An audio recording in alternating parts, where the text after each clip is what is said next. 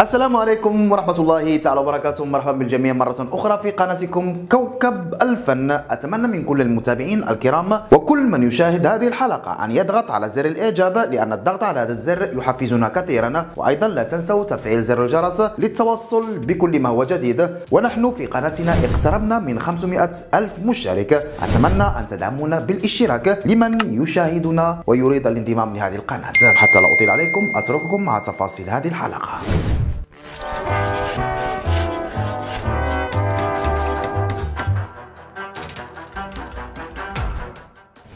الخطيبة السابقة لهاشم البسطاوي تصدمه وتعلن عن خطوبتها. أعلنت الخطيبة السابقة للفنان المعتزل هاشم البسطاوي دخولها القفص الذهبي وذلك من خلال أحدث منشور لها عبر حسابها على موقع تبادل الصور والفيديوهات إنستغرام. وعمدت وفاء السمار على نشر صورة رفقة زوجها أرفقتها بتعليق جاء فيها أقدم لكم الشخص الذي فتحت له قلبي. أخيرا توحدنا أمام الله. أحبك. الحمد لله الذي بنعمته تتم الصالحات مباشرة عقبها انهالت التهاني والتبريكات على السمار من قبل أصدقائها ومتابعيها عبر تطبيق الإنستغرام. ويذكر أنه عقب أيام قليلة على تسريب صور خطوبة السمار والبسطاوي التي جرى تداولها على أنها الصور الخاصة بعقد قرانهما. عمل نجل الفنان محمد البسطاوي على فسخ خطوبته الأمر الذي دفع خطيبته السابقة إلى الخروج بتوضيح عبر حسابها على الإنستغرام وجاء فيها اعلموا أنني لم أرتبط يوما. الصورة التي شاهدتم هي في حفلة خطوبتي ولا أكثر. علما بأن أشخاص كثر أقدموا على فسخ خطوبتهم فيما بعد. وتابعت قائلة أنا لست مسؤولة على كل هذه الإشاعات. نشرت صورة على حسابي بالإنستغرام فأخذها أحدهم ودون عليها ما يعتقد وجميع اعتقاداته خاطئة.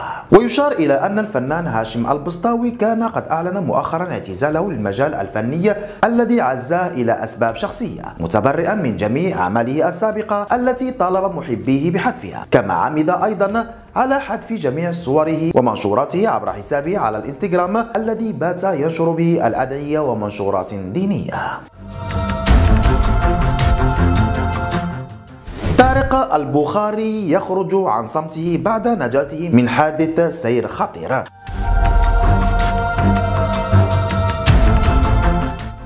نشر الفنان طارق البخاري صورة لسيارته وهي في حالة يرثى لها بعد الحادثة التي تعرض لها مساء يوم الأربعاء معلقا عليها بكلمة الحمد لله. وتفاعل رواد مواقع التواصل الاجتماعي مع الصورة التي نشرها الفنان طارق البخاري والتي تبين أنه نجا بأعجوبة من الموت.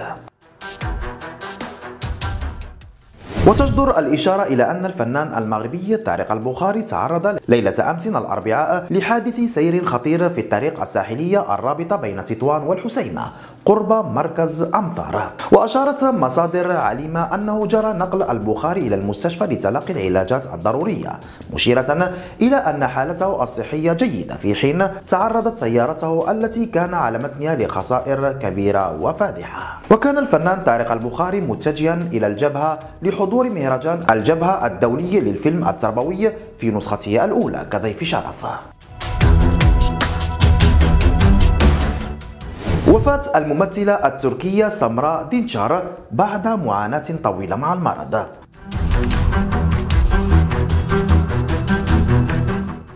توفيت الممثلة التركية الشهيرة سمرا دينشار عن عمر يناهز 56 عاما بعد صراع طويل مع مرض سرطان الرئة.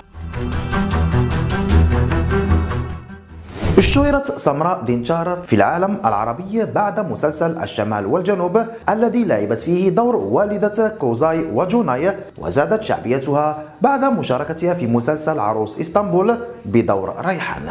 وبعد مسلسل الغرفة الحمراء آخر المسلسلات التي شاركت فيها سمراء قبل وفاتها ولا يزال يعرض في الوقت الحالي. الممثل المصري محمد رمضان يثير الجدل بسبب إلقائه للأموال. تعرفوا على التفاصيل.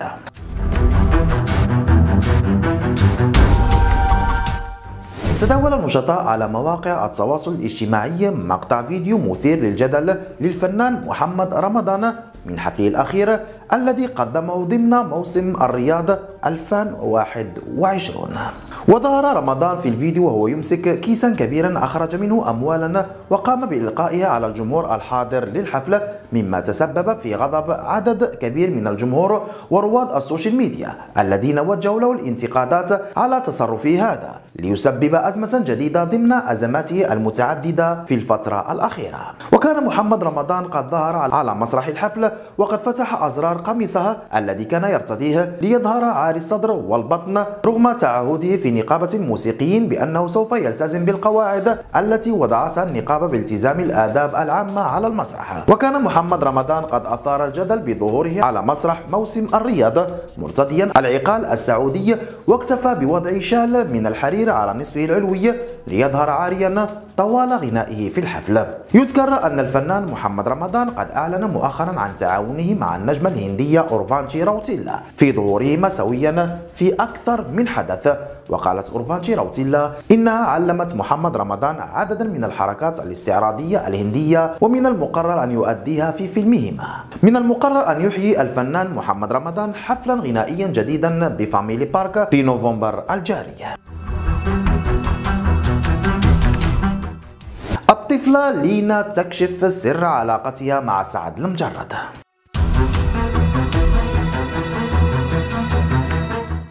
في لقاء مع أحد المواقع الإلكترونية تحدثت لينا الفتاة الطنجاوية الصغيرة والمشهورة في منصات التواصل الاجتماعي عن لقائها مع المغني المغربي سعد المجرد وقالت لقائي مع الفنان العالمي ديالنا عمو سعد المجرد كان أكثر من رائع. لا سيما الظرافة ديالو والمعاملة ديالو معايا كأنني بنته وأشكره كثيرا. وأضافت صراحة لعبنا واستمتعنا خلال تصوير فيديو كليب انت حياتي وأدعوه لزيارتنا في طنجة في أقرب وقت. وحول الفيديو الذي دارت فيه وهي ترقص مع سعد المجرد علقت لينا بالقول بالنسبة لذلك الفيديو الذي تصدر الترند جاء عفويا ولم يكن مبرمجا أن ينزل على اليوتيوب.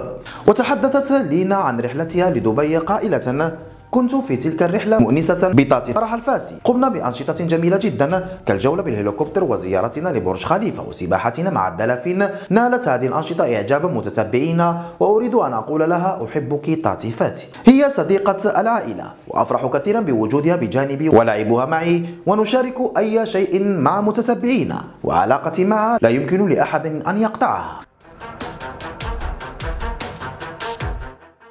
بعد إذاعتها بدبي الرواد يطالبون بحلقة سعد المجرد بمصر.